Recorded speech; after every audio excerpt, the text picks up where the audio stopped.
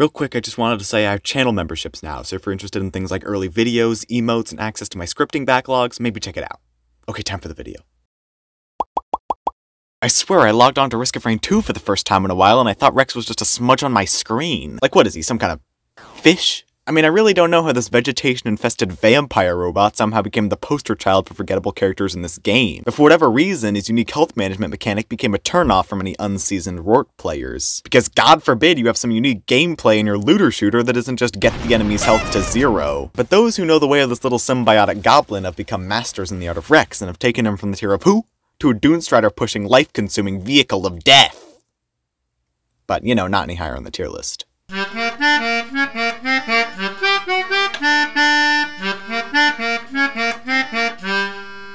A main culprit of Rex's lack of notoriety is simply the way you unlock them. Instead of just beating a specific boss or starting enough runs or getting a certain ending, with Rex you have to pick a character with an escape pod, take a volatile fuel array that will kill you if you go below half health to a specific stage 4, and finally find Rex's corpse that you can jam that damn battery back in him. Now while some may call this confusing or difficult or unclear that you can even fucking press E on your escape pod at all, what it actually is is restricting Rex's power for those who mastered the game so well that they never so much as fall below below 50% HP.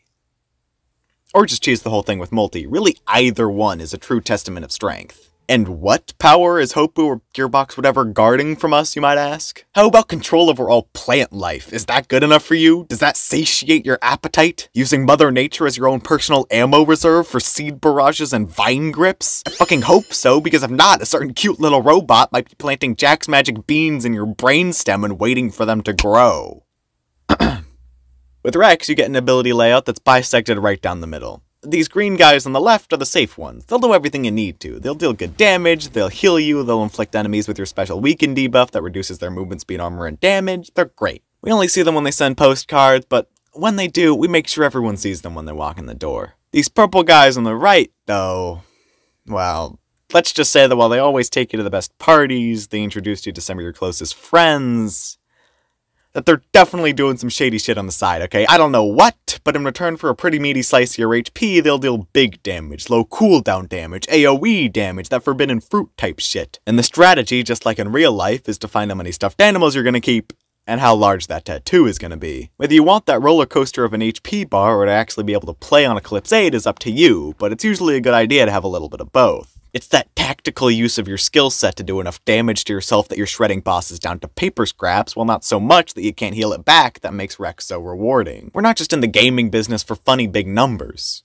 We want those funny big numbers while feeling like our brain is currently large enough to have a gravitational pull that draws in mercury. You know what? Let's have a look at some of those abilities, shall we? The primary is the only thing you can't choose on Rex. You have to stick with the nerf version, probably because if you had an option for a primary that did damage to you, that 90% of the player base would be killing themselves just by selecting him. Either way, it's your main source of healing, and it'll inflict that signature weakness debuff that gives Rex players a party in their pants upon picking up Deathmark. But, when we get to the secondary, things get spicier. The green secondary is a high damage, high cooldown volley that'll give your proc item 16 chances to do some work. Great if you're not super keen on Carpal Tunnel. But Rex's purple secondary is going to be a 0.5 second cooldown mortar that'll leech 15% of your soul every time you click it, with no direct way to heal you. Destroys their health and yours. Perfect for any little fletchling masochist out there. But be ready to be clicking.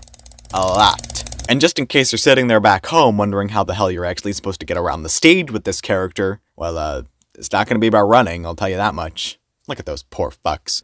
No, it's going to require a full 180 degree heel turn and a jump, because why would anything be simple on this character? Introducing Rex's utility, a blast that pushes Rex back while used in the air that's either going to deal damage and heal in return for some health, or just weaken whoever you use it on. Now, whichever one you choose, it's also going to push the enemy back. Push him into pits, push him into nukes, push him in the uncaring void, push him into debt. I don't care, just don't call me at 3 in the morning crying about push pop, some of us have lives. And look, I've been willing to entertain the less optimal loadouts for this character since there are people out there that do just enjoy fun. I think I'm reading that word right. But here, without any bias at all, let me read you Rex's specials. The chill unlockable special, Directive Harvest, fires a singular bullet at one enemy, and if they die in the next 10 seconds, then they'll drop fucking guavas or something. The HP draining ability, Tangling Growth, fires a singular bullet that sprouts a hibiscus from the underbelly of hell itself that will start leeching any enemy's health that walks into its circle of torment, even after the enemy dies, and sets their movement speed to let me check zero.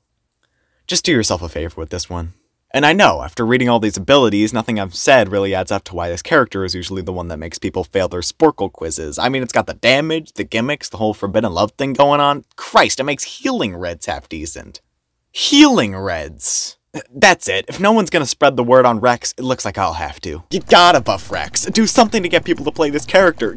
Give him a billion health, microbots, charged gauntlet, anything. Wait, wait, no, he's already fading into obscurity.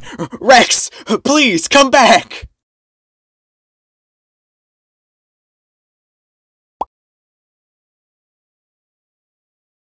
Música